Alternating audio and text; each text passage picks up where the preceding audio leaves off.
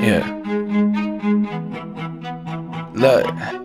They say billions of years ago, something out there went big bang. But ain't nothing that went bang made life since that bang, that's kinda strange. And we know that there's millions of monkeys and billions of modern day human beings. So please tell me what happened to the millions of evolved ones that would've died somewhere in between.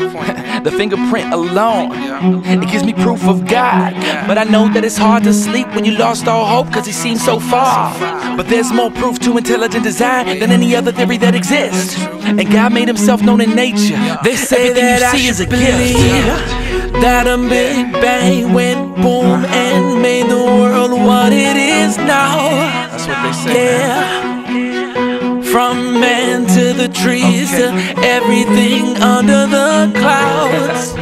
Yeah. Oh, to the beauty that we're all living in all around. Yeah. Oh, that's a lot to believe. Oh, they say that I should believe that a big bang went boom